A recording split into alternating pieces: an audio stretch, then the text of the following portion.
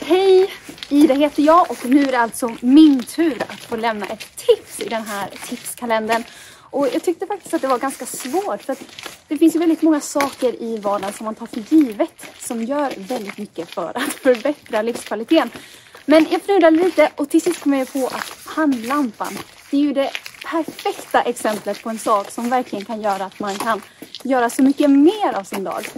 Till exempel ta en promenad när det är mörkt, vilket är ganska exemplariskt när vi bor i Norden där det är mörkt och kallt och dystert en stor del av dygnet.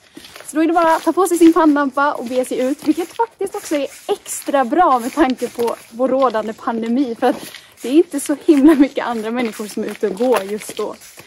Så eh, vi är ut på frisk luft. Eh, se till att ha på er reflexer så tror jag att ni kommer ha det alldeles ypperligt.